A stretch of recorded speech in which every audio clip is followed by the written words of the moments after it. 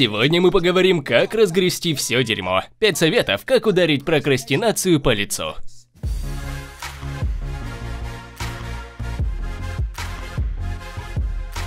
Первый шаг перестать прокрастинировать – попросите помощи. Пусть у вас будет кто-то, перед кем вы несете ответственность. Когда мы ответственны сами перед собой, очень просто найти оправдание, почему мы отлыниваем от работы. И почему мы не делаем то, что должны. И когда у вас появляется партнер, вам придется объясняться перед ним. И это может быть очень просто. Попросите кого-то на Фейсбуке. Вам могут позвонить, и вообще вы можете работать с кем-то. Я люблю бегать на перегонки. Мы общаемся с партнером по скайпу и одновременно работаем. Несмотря на то, что мы работаем в разных частях мира, мы поддерживаем ответственность друг друга. Есть специальные приложения для этого. Я люблю человеческое участие, особенно если это тот, кого я плохо знаю. Что касается семьи, близких, друзей, себя самого, я умею находить оправдания, которые позволяют сорваться с крючка. Если я плохо знаю этого человека, то у него больше шансов привлечь меня к ответственности. Далее, избавьтесь от препятствий до начала работы. Например, вы хотите выйти на пробежку рано утром. Вы проснулись в 5 утра и в вашем доме холодно. Вы не хотите вылазить из кровати. Вы так и остаетесь в ней и не делаете задуманного. Я признаю, это мое препятствие. Но я обошел его.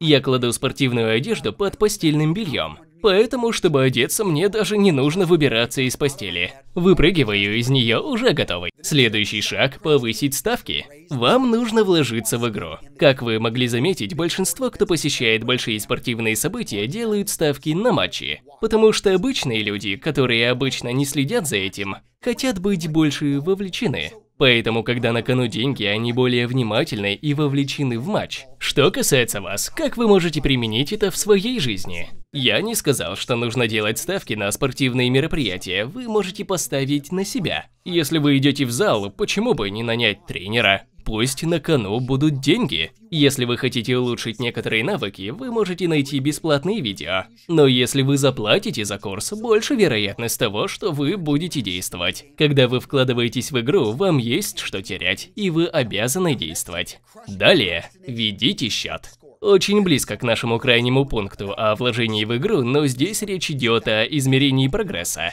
а также о внедрении элемента соревнования. Это хорошо работает, если у вас есть несколько людей, работающие над одним проектом. И тут появляется своего рода соревнование. Ведение счета работает даже если вы один. Ведь так вы наблюдаете прогресс, когда перед вами стройный график. Очень трудно его нарушить. Я пошел в зал в декабре и тренировался каждый день. И когда наступил январь, я не прервал график. Вы должны вести счет, чтобы действовать и бороть прокрастинацию. Вы когда-нибудь замечали, что тратили на проект столько времени, сколько выделяли на него? Это называется правило Паркинсона. Его идея в том, что все количество времени, которое вы выделяете на выполнение проекта, вы потратите на этот проект. Этот закон должен работать на вас. Устанавливайте искусственные ограничения. Когда перед вами стоит таймер, вы вероятнее останетесь сфокусированы на задаче и выполните ее. Мне нравится использовать обычный кухонный таймер. Это не мой телефон, он не будет меня отвлекать. Но, конечно, вы можете использовать таймер на телефоне. Начните с 25-45 минут. Теперь поговорим о сосредоточенности. Я уже касался ее, друзья, если вы хотите что-то сделать в короткий промежуток времени, вы должны сконцентрироваться на одной задаче. Мультизадачность – это обман. Господа, если вы слышали, что кто-то говорит, что он мультизадачен, он лжет. Люди не могут быть мультизадачными. Компьютеры не могут быть мультизадачными. Они переключаются от одной задачи к другой. И поверьте, у этого переключения есть цена. Итак, если вы сфокусированы на одной задаче, затем переключаетесь на другую, у вас нет шансов с нуля сфокусировать свое внимание как лазер. Вы должны сосредотачивать луч своего внимания, чтобы рассекать сталь. Мы, морские пехотинцы, часто поговариваем, что к 8 утра делаем столько, сколько большинство людей будет делать весь день. Мой совет, если вы хотите перестать прокрастинировать, вставайте рано. Начинайте свой день в 5 утра. Ведь рано утром у вас не будет сумасшедших сообщений. Никто не будет отвлекать, большая часть мира спит. Как вставать в 5 утра, если у вас 4 ребенка? Если у вас серьезный бизнес? Я знаю ответ, ведь это про меня.